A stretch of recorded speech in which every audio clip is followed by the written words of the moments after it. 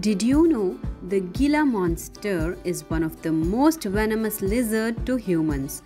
A bite isn't fatal to us, but it can cause severe pain, dropped blood pressure and hemorrhaging. Recovery can take up to 5 days.